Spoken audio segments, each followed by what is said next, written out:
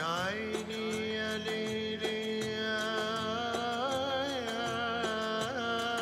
يا يا يا ليل وبخروش موعدا كبرت هنطلع من جسمك عفاريت وبخروش موعدا كبرت هنطلع من جسمك عفاريت قشطن ومولع في البيت نار. يبقى انت أكيد محتاج لك زار يا عيني يا ليلي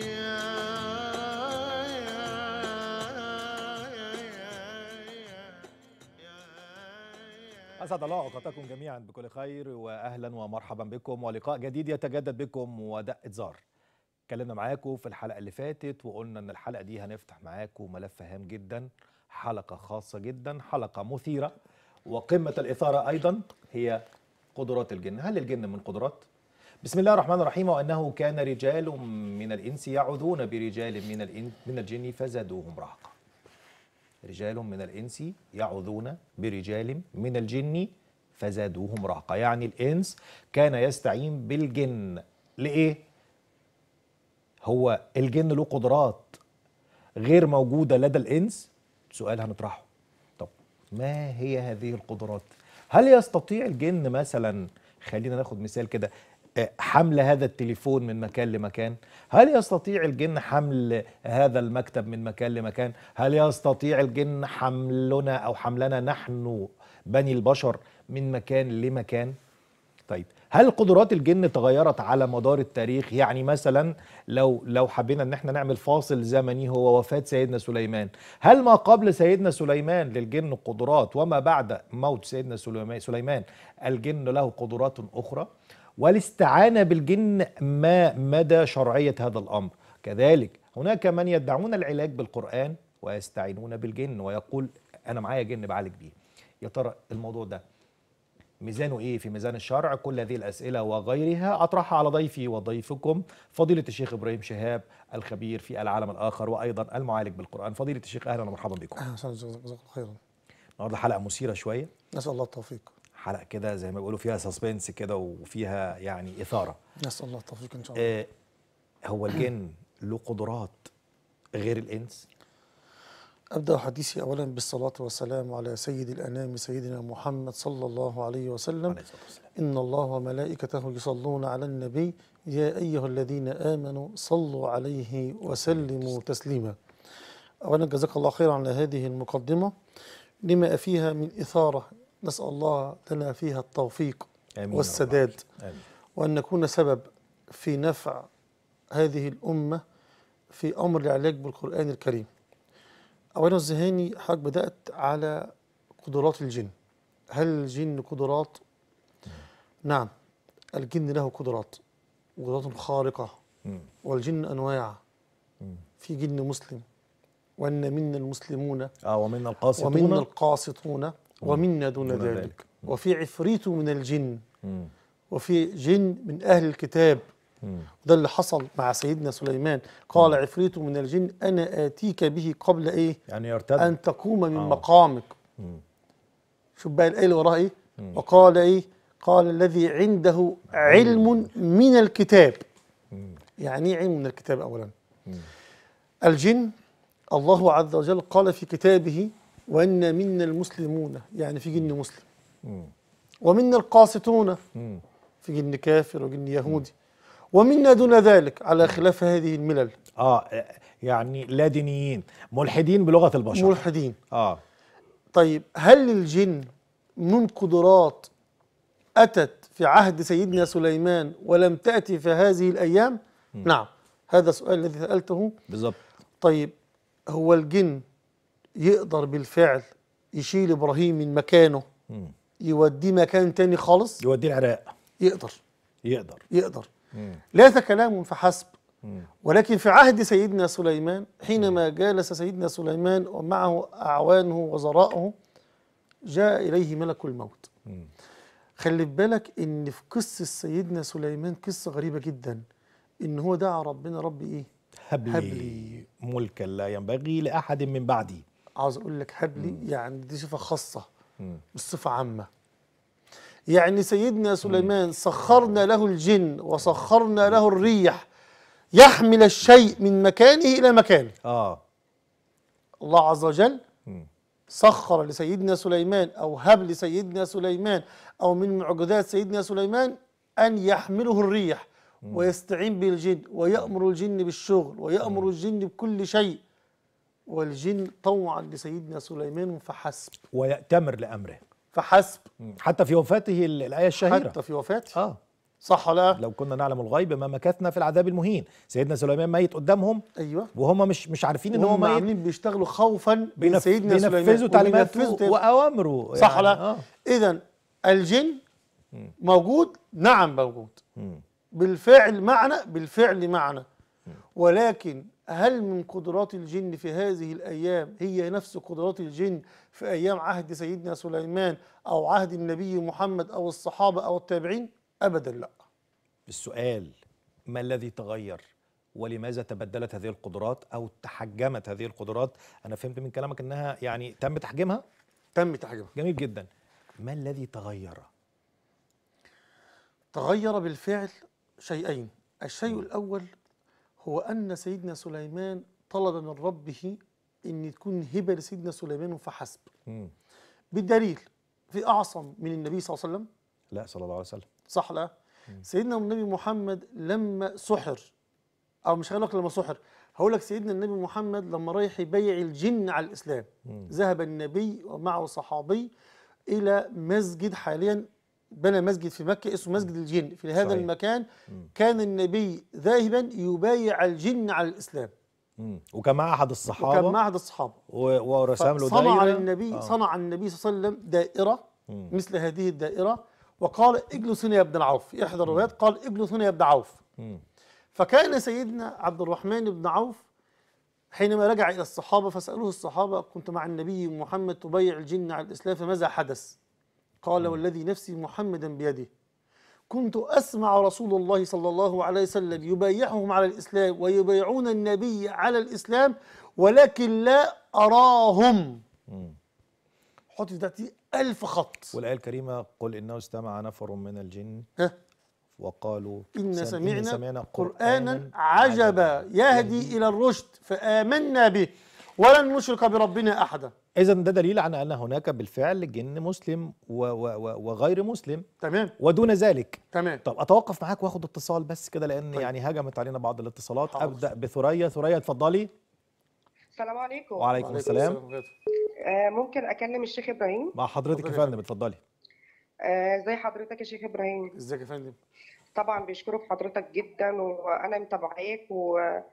وكل حلقاتك بصراحة يعني مش عارفة أقول لحضرتك إيه. جزاك الله خيرا. آه طبعا أنا عايزة سؤال عندي سؤال بعد إذنك. أنا واحدة زميلتي آه بتشوف حاجات كده يعني بتبقى متوضية على وضوء وكل حاجة نعم.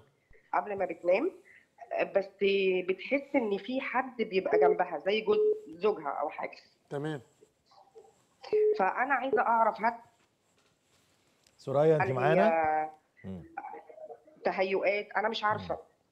طب يعني هي صاحبتك بتشوف زوجها بشكل تاني ولا بتشوف حد مكان جوزها؟ آه يعني نفس جوزها. هو جوزها مسافر أصلا مش معاه آه هو جوزها مسافر وهي بتشوف حد كهيئة الزوج جنبها على الفراش. أيوه. وبتشوفه بكل المقاييس يعني. تمام. بس هي ما بتقدرش تلجم نفسها بتبقى حاسة إن هي متلجمة. تمام. آه بس كل تصرفات وكل حاجة وبتقوم من النوم بتقوم تحكي لي تجري على التليفون تحكي لي. تمام. وهي مش حابة طبعا إن هي تروح لشيخ أو الكلام ده لأن أنت عارف حضرتك ال- يعني إن ما بيبقاش شيوخ كتير صادقة في ال- في الحوار ده. فطبعا أنا ما صدقت إن أنا لقيتك بصراحة. فندم يغفر الله لي ولك يا رب. ربنا يخليك. حاضر هرد على سعادتك لك- شكرا. ثريا يعني. اسمعي حضرتك الإجابة. طيب يعني قبل ما نرجع لموضوعنا تاني معلش حضرتك يا ريت تجاوب على ثريا بعد إذنك. حاضر. الحالة ديت حالة فعلا ثابتة وموجودة بعض الحالات كمان. لا سيما إن أنا بقول الحالة دي بتيجي للنساء اللي زوجها ربنا يكون في عونه متغرب لأكل عيش أو مسافر لسفر فدايما تحس المرأة يستفرد بها شيطانها يستفرد بها شيطانها إذا كان هي مسحورة أو غير مسحورة. مم. إذا كانت هي مسحورة أو غير مسحورة في إن هي تتمثل أو ترى بأعينها إن في حد على هيئة الزوج نايم مكان الزوج. قد يكون هو بنفس الزوج كمان المعتاد به قد يكون على هيئة وشكل وتصرفات الزوج على الفراش. الكلام ده ينحسم في امرين الأمر الأول إما شيطانها يتعرض إليها بال يعني بالخلوة إن هي قاعدة لوحدها. والأمر الثاني إذا كانت هي بالفعل مسحورة أو عمار المكان ظهروا إليها لأمر التخويف. الأمر إيه؟ التخويف. إن هي ممكن تخاف إن هي تقعد في الشقة لوحدها عشان كده لازم تروح بيت أهلها أو جوزها مش موجود فتحس بأمر تخوف في القلب فترى باعينها شيء خيالي وليس حقيقي. آه يعني أنت حضرتك جاوبتها كده بالثلاث آه دي ده دي ثلاث أمور. آه أمور طب ممكن أفصل بينهم إزاي؟ لو الأخت الفاضلة ذهبت إلى معالج بالقرآن الكريم يسمعها ويقرأ عليها القرآن ويستمع إليها ويسألها بعض الأسئلة الخاصة بهذا الأمر. إذا وجدت الأسئلة في أجسادها يتم العلاج. إذا لم يكن اجابه على الأسئلة تستكفي إن هي تسمع البقرة أو تبخر بيتها بحبة البركة أو د- تنام على وضوء زي ما هي ذكرت أو تقرأ سورة الصفات وقاف. طيب شكرا جزيلا. ده رد على السؤال. الإجابة وصلت للسوريه تعالى بقى هقول. لك حاجة اتفضل. قبل ما نخش في التفصيل إن شاء الله مع مين هو مش في خصائص هو إحنا بنصدق كلام ربنا؟ آه طبعا. يعني مفيش غبار على هذا الكلام؟ يعني مفيش إزاي يعني؟ صح كده؟ حاشا لله طبعا. الله عز وجل ذكر آية في سورة الأعراف. إنه يراكم هو وقبيله. من حيث لا ترونهم. من حيث إيه؟ لا ترونهم. أقف عند الجزء الأخير من الآية دي. يعني هو يشوفني وأنا ما اشوفوش إذا أنت ترى الجن؟ لا لا أستطيع أن أراه. يعني لما يطلع لي معالج بالقرآن مم. ويقول لي أنا شايف الجن جوه جسم الإنسان دلوقتي مم. بيتحرك داخل الجسد أو الجن على كتفه اليمين أو على رحم المرأة أو جوه عنق رحم المرأة عشان كده يحرمها من الإنجاب. اصدق هذا الشيخ أم اصدق كلام الله؟ اصدق ربنا طبعا. أنت متأكد؟ من حيث لا ترونهم. يعني قطعية. الله, الله عز وجل صنع لنا أحجب أعيننا بالظبط على أن نرى الجن.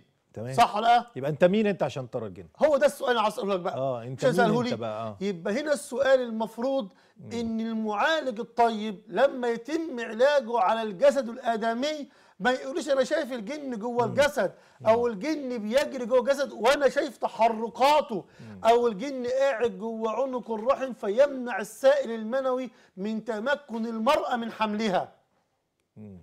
الكلام ده كله كلام بعيد كل البعد عن كتاب الله وسنة النبي محمد. يبقى العبارة الأولى أن الجن ثابت وموجود. أثبته القرآن في سورة الجن وأن منا المسلمون ومنا القاسطون ومنا دون ذلك. الجن ثابت في صور أخرى في سورة النمل عسنا سليمان. كان قال عفريت من الجن أنا آتيك به قبل أن تقوم من مقامك. وقال في الآية الثانية وقال الذي عنده علم من الكتاب أنا آتيك بها قبل أن يرتد إليك طرفك. صح لا؟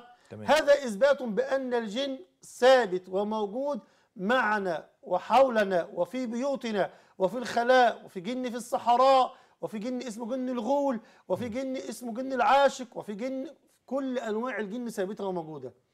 ولكن حينما نتكلم عن الجن أو العلاج بالقرآن الكريم في هذه الأيام لابد أن يكون له تأصيل وتفصيل. بس سؤال بقى معلش كده جانبي كده. اتفضل. طب هو أنا ممكن أعلق حياتي على العالم الآخر وعالم الجن. يعني لو حصل لي مشكلة وأنا نازل من على السلم ده أنا ده الجن اللي عمل فيا كده. لو واحد اتأخر في في الجواز ولا ست اتأخرت في الجواز نعم. بنت اتأخرت في الجواز ده الجن اللي عامل فيها كده. نعم. لو واحد عمل حادثة ده الجن اللي عمل كده. هو ممكن أعلق حياتي على هذا العالم؟ لا يتم تعليق الجسد الآدمي بالعالم الآخر سواء الجن أو السحر أو الحسد أو العين أو القرين إلا بعلامات ورموز بينة وعينة واضحة وضوح الشمس في الجسد الآدمي. وهذا كتاب الله عز وجل أخبرنا فيه وعلامات وبالنجم هم يهتدون. إذا لكل شيء له علامات. صح ولا؟ لا؟ تمام. أنا جاي من مكاني الانتاج الاعلامي لو أنا مش عارف العلامات والطرق اللي همشي فيها هل هوصل لهذا المكان؟ لا طبعا مستحيل. لا طبعا. صح ولا هتوه صح ولا هتروح مدينة السلام. هروح مدينة السلام. مم. لو أنا مش عارف إن أنا جاي هذه القناة المباركة هخش أي قناة تانية. لو أنا ما عنديش الإشارات اللي أمشي عليها GPS أو الطريق اللي أمشي عليه. مم. هو ده منهج العلاج بالقرآن الكريم. لو أنا ما عنديش العلامات الواضحة في الجسد الآدمي على آن إن هو مريض أو مش مريض أو في أمور طبية أو في أمور روحانية أو في أمور شيطانية أنا مش هعرف أتم العلاج معاه ده صحيح صح ولا لا؟ ده صحيح. يبقى إذا لا يتم تعليق أي مرض حتى لو كان مرض طبي مم. على الجسد الآدمي إلا بدلائل واضحة علامات واضحة صح. طيب أتوقف وأخد أم يزيد وأرجع لحضرتك تاني بعد حاضر. إذنك أم يزيد اتفضلي أيوه أهلا بيك يا أم عليكم. يزيد وعليكم السلام الله وبركاته الشيخ إبراهيم. مع حضرتك يا فندم انت على الهوا اتفضلي. أهلا وسهلا. أهلا وسهلا يا شيخ إبراهيم. إحنا سمعنا عنك سمع خير وحضرتك ما شاء الله عليك يعني. فكان معايا ابني بس عنده خمس سنين.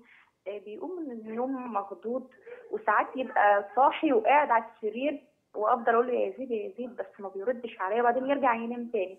يا يقوم من على السرير يطلع ناحية الحمام والمطبخ كده وأفضل انادم انادم عليه انادم عليه ما يردش عليا أقوم أجيبه إيه يا يزيد يقول لي ما فيش حاجة يا ماما. وبعدين يرجع تاني على السرير.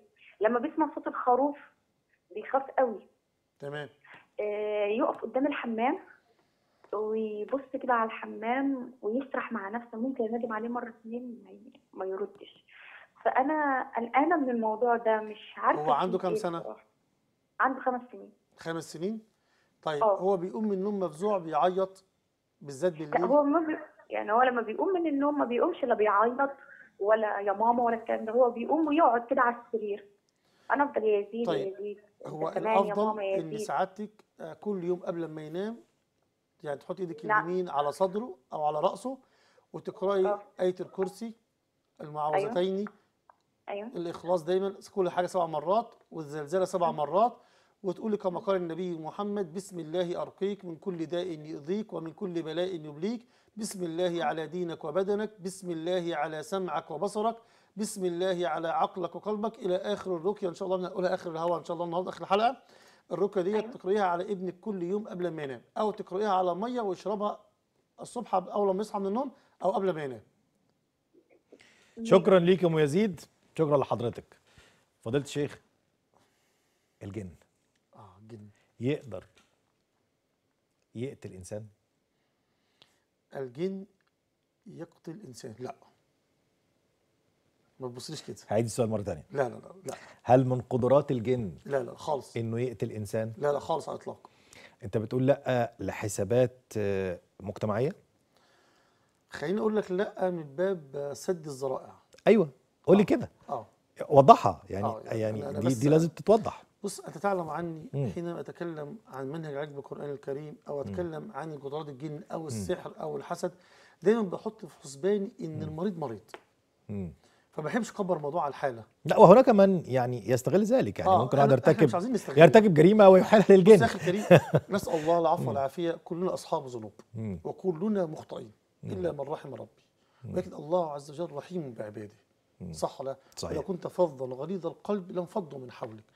لما أطلع الهواء أقول مع سعادتك الجن يقتل الجن يسرق الجن يفعل الجن يفعل.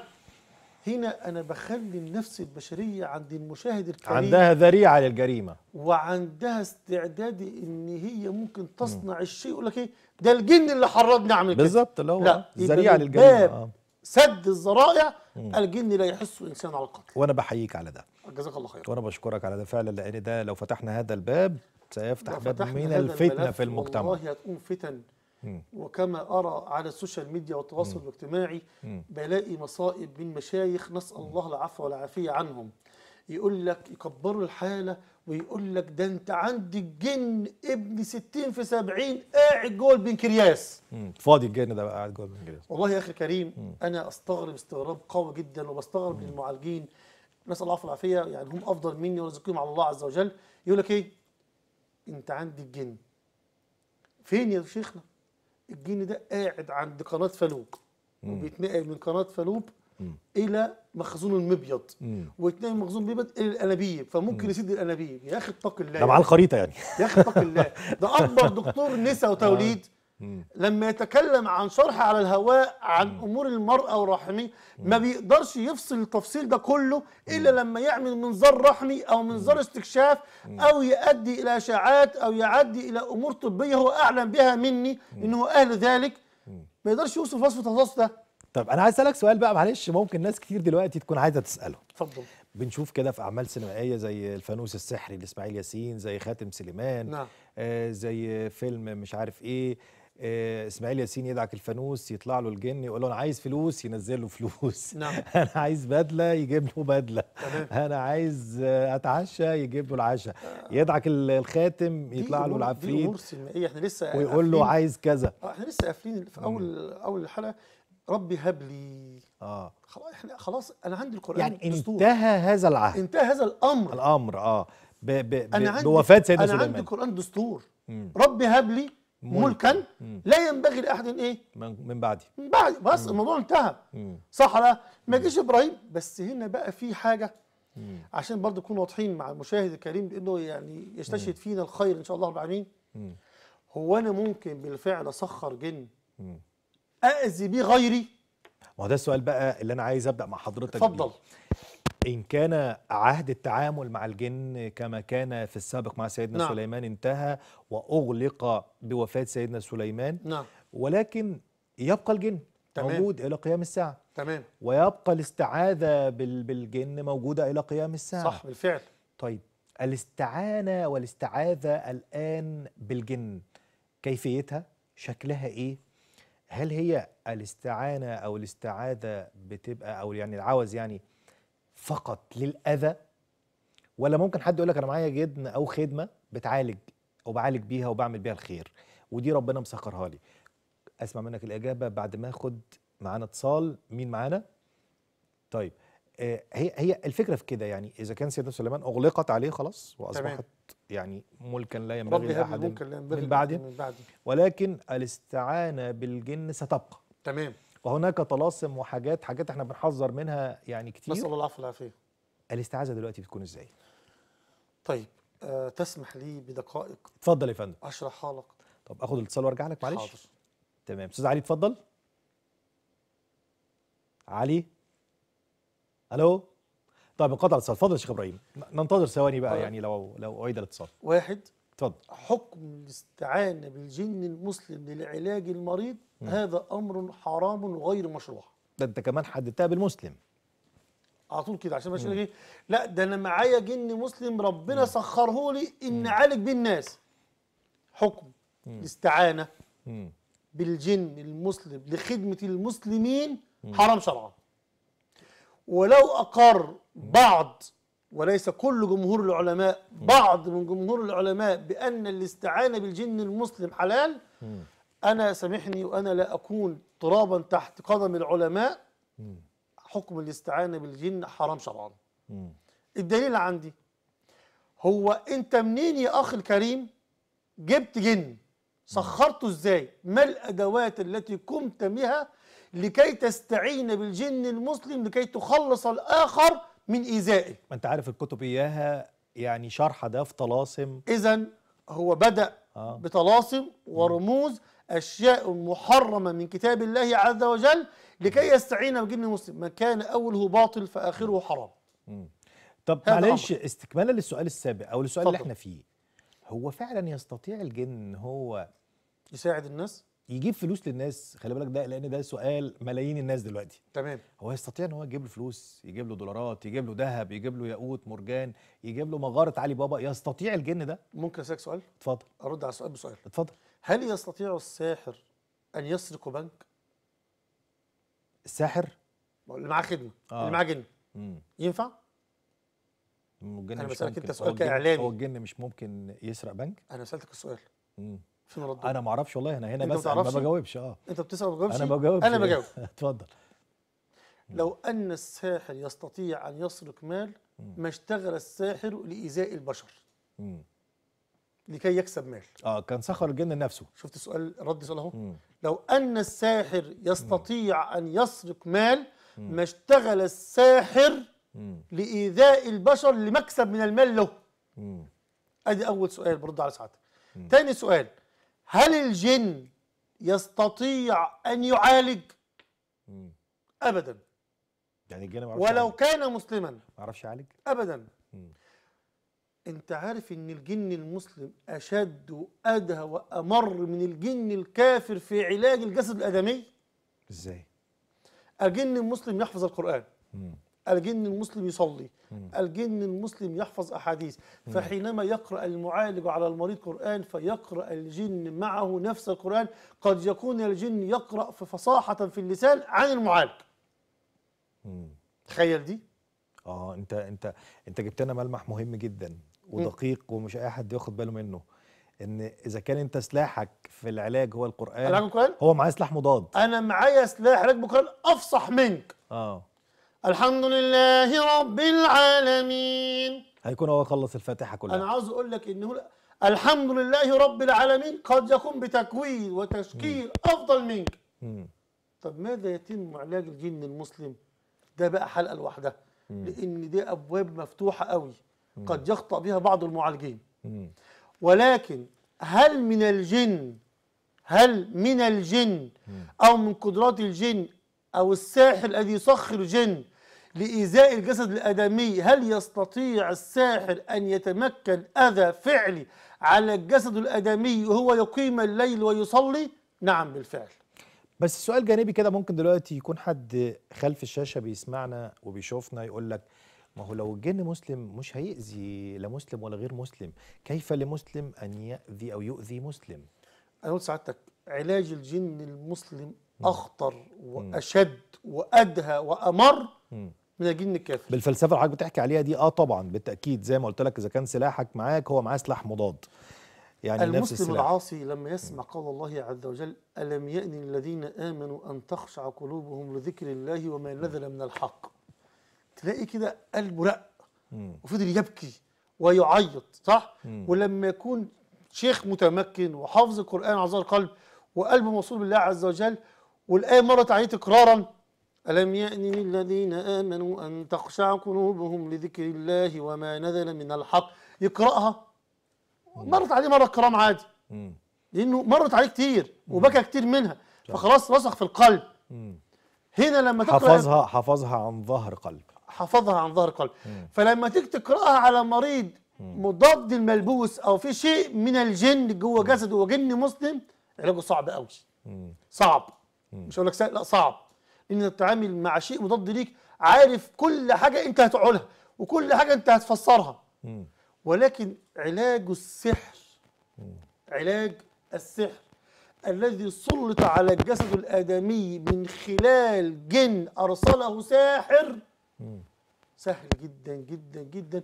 ولو كان السحر من الأمور الشيطانية اللي هي أفظع أنواع السحر. طب هل للجن علاقة برزق برزق الإنسان بمعنى إيه؟ شفنا وعرضنا في حلقات سابقة من دقة زار ناس بترش أسحار أمام محلات تمام ما هو هنا إيه علاقة الجن بهذا السحر المرشوش؟ أليست هناك علاقة؟ علاقة بالساحر الذي معه من الجن مم. أن يرسل شيء مع صاحب الأذى ليضر صاحبه أو أخاه بمادة سحر مم. خلي في علمك في حاجات كده يعني مشوشة عند بعض المعالجين أو بعض المرضى ماليش دعوة بالمعالجين هم أفضل مني ورزقهم على الله عز وجل. كتير جدا من المرضى يقول لك أنا لما بروح عند شيخ لأن عندي أعراض والشيخ يحط يده على رأسي ويقرأ القرآن. بالفعل لابد من المعالج أن يقرأ القرآن على مريض. أنا معك في هذه القول. إلا في حالات معينة زي مريض الوسواس القهري. ما ينفعش يقرأ عليه قرآن. طب ليه؟ ينفع يرقيه. الرقية الشرعية الثابتة. آه بس ما يقرأش عليه قرآن متعمد. ليه؟ لأن هو جاي لك وحط اعتقاد ذهني داخله إن هو حد عامل له سحر أو حد عامل له عمل أو منظور بعين. وهو عنده أعراض واضحة أعراض وسواس. لو قرأت عليه القرآن دون علم دون علم ماذا يقول هذا المريض؟ أنا عاوز أقول لك أنت ثبتت الوهم عند المريض وهم مم. ولكن لا أكون واضح معاه. حتى لو مش من عندي يقول لك أنت مش فاهم حاجة. أنا بقول لك أهو حتى لو جالي وقال أنت مش فاهم حاجة يقول. ولكن أنا عندي يقين إن أنا صح. كلامك ده؟ لا أنت عندك أعراض وسواس قهري. الأعراض دي تدل على أنك مريض بوسواس قهري. ارجع لمريض ارجع لطبيب نفسي يمشي معاك في هذا الأمر. أو اديله سبل إن هي تهدي الحالة عنده. يبقى أول حاجة في قسم العلاج بالقران الكريم لازم يكون في تأصيل وتفصيل. لازم المعالج يكون عنده فراسة. إزاي يفرق ما بين أعراض المرض الحقيقي وأعراض المرض الوهمي؟ ولازم يكون عنده الفراسة إنه يفرق ما بين وسواس أو اكتئاب أو خلل في جهاز مناعة في الجسد بين وجود سحر. ليس كل مريض وسواس مسحور. وليس كل مريض مسحور وسواس. شفت بقى الاختلاف هنا؟ ده تاني معلش عشان المشاهد ليس كل مريض سحر عنده وسواس. وليس كل وسواس أو ليس كل إنسان به وسواس مسحور أو معيون. هنا يخ- لا يختلط الحامل بالنابل لابد أن نفرق. لو أنا عندي أعراض واضحة تقول إن هذا المريض ليس عنده مرض ارقيه رق شرعي بسم الله ارقيك من كل داء يؤذيك إلى آخر الرقيه ولكن لو عنده علامات ثابتة يفهمها المعالج ويشخصها المعالج أنها من علامات السحر الواضحة البينة على الجسد الآدمي لابد من المعالج أن يقرأ على المريض وماذا يستشعر المريض أثناء القراءة عليه. لا يسمع فقط. إذا توافرت علامات الأذى. أنا أذكر حالة مرة جات لي والحالة ديت لفت عند مشايخ كتير جدا. كانت حالة من اسكندرية. الحالة ديت كان معاها آه امرأة وفي الأصل هي دكتورة وكنت لا أعلم إنها طبيبة بالفعل والله خالص. وكان معاها أبوها وامها الدكتورة كانت بتتحدى الأب والأم إن هم لما لفوا عند المشايخ منهم من ادعى ادعى ترياق وحب الملوك ومنهم ادعى حنظل كلها أسباب وقالوا اوعوا تروحوا الدكتور نفسي. وكانت المريضة متجوزة بقالها شهر. أذكر هذه الحالة. كانت تشد من الشعر وتاكل يعني يعني تشد بشعرها فلما يعني كتفوها كانت بتقول لك في نار جوه جسدي. نار. إمتى تستريح؟ لما تشد شعرها. فالطبيبة قالت لي كده بالحرف بعد ما خلصت المناقشة معاها أنا سمعتك مع زهان الدباني في برنامج دقه زار وتحددك بالفعل. قلت لو أنت صادق على الهوى كما تفعل في المركز يبقى انت انسان صادق.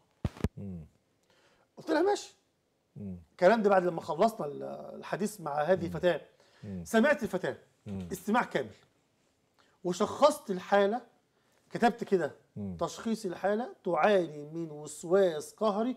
الرجاء الذهاب إلى طبيب نفسي الأمر هام بعد الفاصل هل يستطيع الجن حرق المنازل كما كنا نرى؟ منازل تحترق. بلا فاعل ولا يوجد فاعل. هنعرف الإجابة بعد هذا الفاصل. مشاهدينا فاصل ونعود إليكم ونستكمل معكم هذه القصة الذي عرضها فضيلة الشيخ إبراهيم شهاب لهذه الطبيبة. فاصل مشاهدينا وانتظرونا.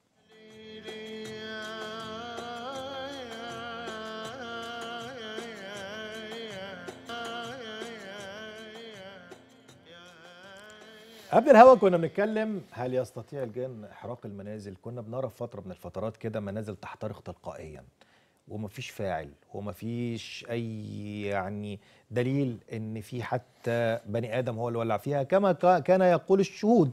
يعني يعني يعني إحنا بنسند هذا المصدر لمصدره اللي هو شهود الوقائع دي. هل الجن ممكن إنه يولع في بيوت زي ما كان البعض بيعمل كده؟ وجاء شيخ شهير هو اللي طفى هذه الحرائق بإطفائه للجن. ده واحد. نعود للقصة اللي كان بيحكيها فضيلة الشيخ إبراهيم شهاب لهذه السيدة التي كانت يعني آه، تأكل شعرها وما إلى ذلك. سؤالي لك يعني فضيلة الشيخ ما هو ممكن أي شيخ بقى مكانك كان يقول لها ده أنت معمول لك عمل ده أنت عندك جن ده أنت عندك كذا وبالفعل. ويقعد بقى يعمل فيه حاجات هو ده كتير بالفعل حصل. أنت قلت لها لا أنت ما عندكيش أي حاجة من دي هي- خالص أنت مريضة مرض نفسي. هي روحي؟ لطبيب هي نفسي. المشكلة فين؟ إن أبوها بيقول إنه لف بيها عند مشايخ كتير جدا. أنا لا أزكي نفسي في أفضل مني كتير جدا نحسبهم على خير كلام جميل كده. ولكن الواقع اللي حصلت أمامي أو في مكتبي.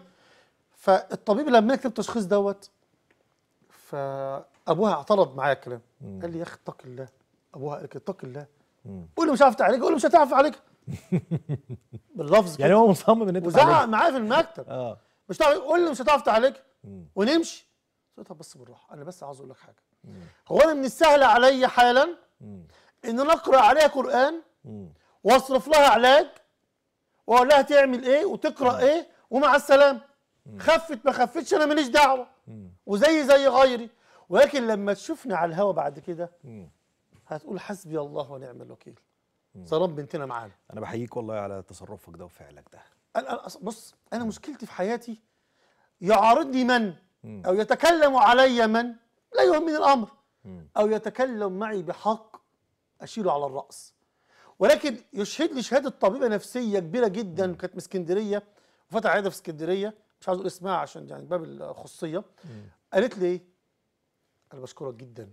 أنا أحييك. فعلا غيرت وجهة نظري حاضر. في مبدأ العلاج بالقرآن الكريم. مم. غيرت وجهة نظري. هي كانت ضد ده. كانت مش معترفة أصلا إن في حاجة اسمها علاج بالقرآن. آه ولكن لما نسبنا هذا المرض لأصله اللي هم أهل الطب فيه مم. خلاص. الحق حق والباطل باطل. أنا بحييك مرة تانية. آخد وفاء. بعد إذنك وبعد كده حاضر. نكمل حديثنا. وفاء اتفضلي. ألو؟ أيوه وفاء إزيك؟ آه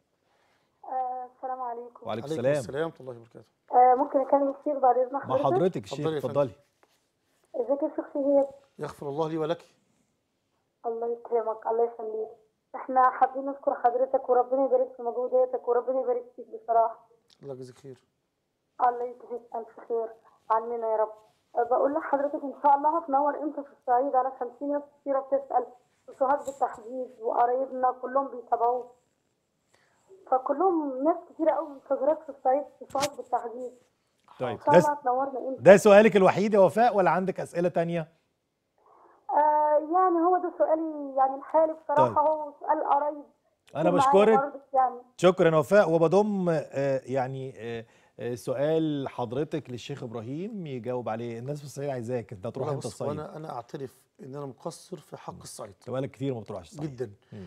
بس ربنا من عليا وأكرمني وشرفني في استضافه يوم 18 3 اللي هو الخميس الجاي ده الذهني لا الخميس اللي وراه. هتبقى فين؟ هكون في المراغة. مم. فأكون في المراغة. دي في سوهاج. دي في سوهاج. آه. يعني في استضافة الأخ هناك. مم. ربنا يمن عليه يا رب بالشفاء إن شاء الله رب العالمين وأهل بيتي. في استضافة هناك في يوم 18 3 اللي هو الخميس الجاي ده لا اللي وراه. تمام. هكون آه، في المراغه فوق بنك مصر تقريبا تحديدا يعني الله أعلم يعني. وفي أرقام تليفونات معروضة على الشاشة دلوقتي هم- اللي عايز يتواصل يعني- مع فضيلة الشيخ إبراهيم شهاب أو يعني آه، يتواصل معاه في الصعيد أو حتى في القاهرة. آه وكمان مسافر آه، يوم 25 3 في الأقصر. الأقصر آه. الأقصر. ده أنت هتاخد جولة سياحية بقى كمان. والله يا أخي الكريم أنا ما بحبش اخرج مكتبي صراحة يعني عشان إشمعنى. بقى أهل الصعيد أنت تروح لهم؟ بص يا أخي الكريم أهل الصعيد ناس طيبين جدا مم. وناس غلابة قوي. مم. وناس ما عندهمش القدرة إن يركبوا من الصعيد أو من الأقصر مسافة كبيرة جدا تأتي إلى القاهرة. فأنا ربنا من عليا بسيارة أو من عليا بصحبة ناس أفاضل. فبروح استعانة يومي بيوم خميس. آه بقابل اللي بقابله من المرضى بكلم معاهم بشاورهم في الأمر بيسالوا بعض الأسئلة أخذهم بدهم إلى الحلال مش الحرام وأسأل الله يكون باب نفع ليهم يا رب. يعني أنا مسافر 18 3 سوهاج. مراغة. آه المراغه و25 3 الأقصر. الأقصر نفسها؟ الأقصر آه، نفسها آه في حتة اسمها الارمنت والله ما عارف في اسمها إيه. أرمنت آه في أرمنت. آه، تقريبا آه. هم الأخ اللي معاه اتصالات هو اللي ادرى بالعنوان صراحة يعني, يعني أنا كده الخميس اللي بعد الجاي مش هعرف أشوفك ولا اللي بعديه. آه الخميس الجاي لا اللي وراه كون اللي وراها. تبقى في السوهاج واللي سوهاج. بعديها تبقى في الأقصر. أنا ممكن أجي معاك الأقصر على فكرة. والله يزيد شرف. لأن ده جو الأقصر وده وقت الأقصر وأسوان دلوقتي. آه، نفسي طب مش ناوي تروح. أسوان طيب؟ والله يسامحني لو هتروح أسوان أنا أجي معاك. ربنا يجزيك خير وخير يا رب. تروح تيجي طيب. بالسلامة. خليني الجن يحرق بيوت. آه يحرق بيوت. شفت بقولك بقوه إزاي؟ أنت من غير ما تفكر قلت آه يحرق آه. بيوت. لاني رايت هذا بعيني. مم. كانت الأسرة بأكملها بره البيت. بره البيت. مم. كلها بره البيت. مم. وكلها قاعدة بتقرأ قرآن. تخيل اللفظ ده؟ مم. أنت خارج المنزل في الساحة. مم. كنا بنتحدى شيخ هناك. إن يقول لك الجن ما يولعش بيوت. أنا موجود بالفعل في المكان ده. الأسرة بتقرأ قرآن بره وتقريبا كان سورة ياسين تقريبا. وإحنا قاعد البيت بأكمله. دخل شيخ فاضل نحسبه على خير ما لقاش طفل موجود في البيت كله. وبعد دقائق معدودة. تم خروج رياح من البيت نار.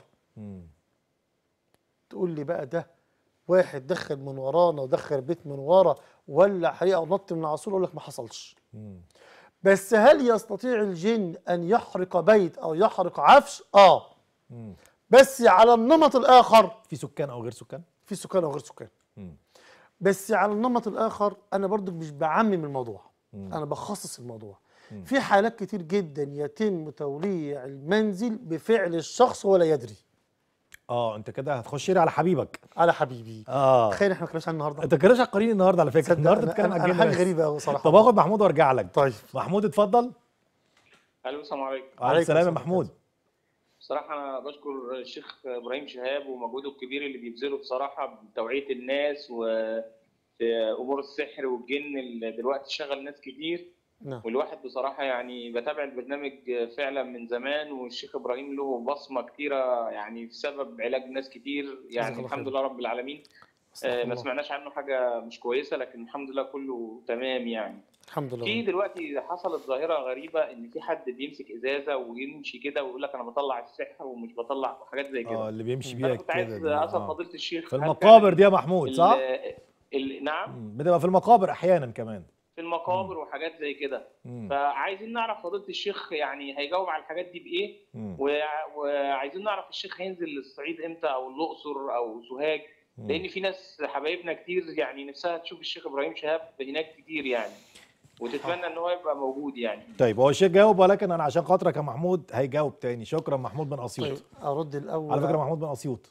طيب أرد الأول على سفر إمتى ولا أرد على الازازه طب لا أرد جاوبوا على الاثنين يعني جاوبوا السفر طيب. إمتى؟ السفر إحنا قلنا إن شاء الله يوم 18 3 و25 3 مم. اللي هو الخميس الجاي اللي وراه واللي وراه. تمام. واللي عايز يتابع يرجع للأرقام اللي موجودة بتظهر على الشاشة يعني أرجع. للظاهرة اللي ذكرها الاستاذ محمود ويعني جزاه الله خير على هذا السؤال. لازم تمسك إزازة؟ أنا عاوزك السؤال والإزازة تمشي لوحدها. ظاهره انتشرت على ال social media بطريقة غريبة جدا. مم. إن أنا أمشي بقول الفاتحة. وبقول رقية وبمشي ورايا شباب أو نساء أو رجال وبمشي ماشي ازاز ما تقعش من إيديا. وماشي إزاي توجهني أخش يمين أخش شمال افتح القبر الفلاني في المكان ده فيه عمل عاوز أقول لك كل هذا إنما هو دجل. وبعلو فمي يقولها. دجل نصب على الناس ضحكوا على العقول ليش خبرين ده بالفعل بيتم؟ وبالفعل بيطلع عمل من القبر. لو أن هذا الأمر ثابت ومشروع من الناحية الشرعية ومن الناحية الدينية لفعله النبي محمد حينما سحر ولا يدري من سحره في أي مكان سحره. اذا لا أصل لهذا الموضوع. شفت المعنى ده؟ لو أن هذا الأمر ثابت مم. وشرعي وديني وقانوني لفعله النبي محمد حينما سحر. كان أدرى النبي محمد منا إن سحر في بئر زروان أم غير بئر زروان ومن عمل السحر النبي محمد. أنا عندي هنا سؤالين. اتفضل السؤال الأول وده يعني هاخد منك تعقيب بسيط. ما هو في النهاية بيفتح بيلاقي. تمام. ممكن تكون هو اللي حاططها ماشي. بس ماشي. خليني برضو أنا لازم أنا مش عاوز أقول كده بس بس أنا أنوب عن الطرف الثاني تمام. الإجابة الثانية أو السؤال الثاني الشق الثاني وهو الأهم. هو شرط العلاج بالسحر الاتيان بيه يعني أنا علشان أعالج واحد معمول له عمل يعني بلغة الدرجة كده لازم أجيب العمل ذاته؟ هو لازم أعالجه بكده؟ أرد على السؤال من السنة. اتفضل. وده أقوى رد. إحنا قلنا عن سيدنا سليمان انه قال لربنا إيه؟ ربي هب لي إيه؟ ملكا لا ينبغي لأحد من بعدي. صح لا؟ تمام. ارجع لسحر النبي محمد. هل لما سحر النبي محمد صلى الله عليه وسلم. من أخبره بسحره. سيدنا جبريل من قبل من. الله عز وجل طيب هل سيدنا جبريل قال للنبي محمد إن أنت مسحور ودور مين اللي عمل لك سحرك. وهنجيبه لك والسحر هيتفك ولا قال له يا محمد إنك مضبوب وعلى أي شيء قال على مشط ومشاط وفي أي مكان في بئر زروان ومن فعله قالوا بيد بن الهود بن الأعصم. فأرسل النبي محمد سيدنا علي كرم الله وجهه لكي يأتي بسحر المعصوم محمد. فلم يقدر سيدنا علي أن يأتي بسحر النبي محمد. لم يقدر. تخيل اللفظ ده؟ لم يقدر سيدنا علي أن يأتي بسحر النبي محمد. فذهب المعصوم صلوات ربي وسلامه عليه أن وضع يده الشريفة على الماء وكانت معجزة من معجزات النبي صلى الله عليه وسلم حينما يضع يضع على الماء فجف البئر فأتى بسحر النبي محمد. هنا فك سحر النبي محمد كل أعوذ رب الفلق كل أعوذ رب الناس أخذ بهما النبي محمد وترك ما سواهما. ولكن ردي على سؤالك من أين أتى الشيخ إن السحر بتاعك في النخلة الفلانية. السحر بتاعك في القبر الفلاني ودي- السحر. بتاعك معمول تحت بيت الفلاني أيوه من أين أتى هذا؟ هل أرسل الله سيدنا جبريل على الشيخ ليخبره بأن هذه الفتاة سحر بتاعها مدفون تحت البيت؟ مع الإزازة السحرية بقى يا شيخ بقى الازازه إحنا, السحرية. قلنا يا أخي لو تكلمنا بالدين هذا حرام. الأهم. الأهم. عشان أختم الحلقة. ليس علاج السحر بإتيانه. باتياني ليس علاج السحر آه بإتيانه. يعني يعني يعني حتة بقى إن إحنا بننظف المقابر وبنطلع وبنعمل الكلام ده. آه. ده حملة في تنظيف حد ذاته لا يعالج؟ لا يعالج. أنت أنت نظفت هذا القبر. طلعت منه خمسين عمل. هل الخمسين شخص دول شفية؟ أبدا. بالدليل. مم. وأقول لك بقى في دقيقة واحدة. بالظبط. فاكر معايا قصة إن المرأة فيها راحت المكة وراحت الكعبة ولم ترى الكعبة بعينيها آه آه الست اللي كانت مغسلة في إحدى المستشفيات. فاكر دي؟ أيوه. هل السحر اتحط جوه فم الميت في القبر وتحلل الميت؟ هل السحر لما جه الافتراض إن هو جه شفي المريض. وهل السحر لما ما جاش المريض لم يشفى؟ ابدا.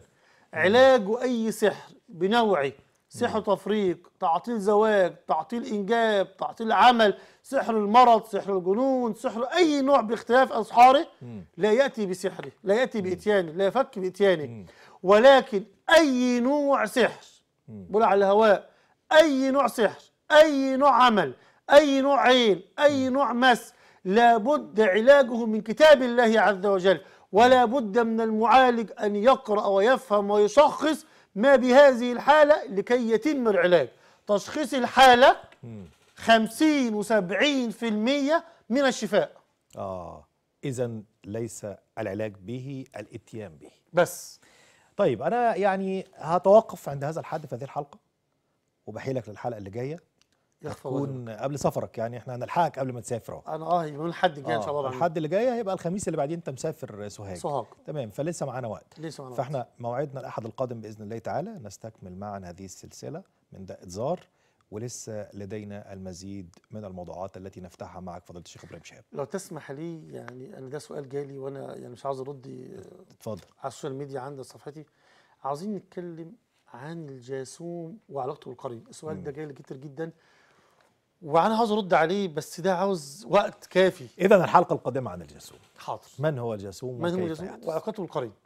يا دي القرين. لازم نرجع للقرين تاني. النهارده- إحنا قلنا ناخدك شوية بعيد عن أنا القرين. لك النهارده أنا اتحسد أنت تحس النهارده ما جبتش سيره القرين كتير. آه. والله أنا حاسس في نصنا حاجة. يا الحلقة الجاية معاك القرين كله والجاسوم كله لأن الجاسوم متعلق بالقرين يعني. يغفر الله لي وللناس يا رب.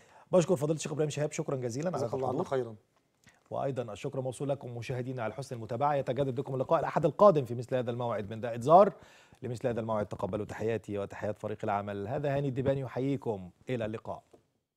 يا عيني يا ليلي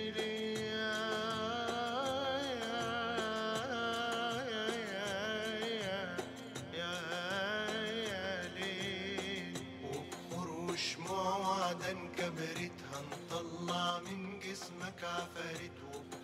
مشموعة كبريت هنطلع من جسمك عفاريت.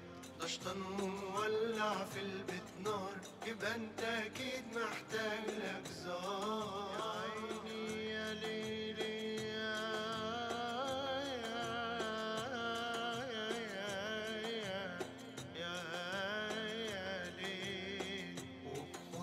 موعدا هنطلع من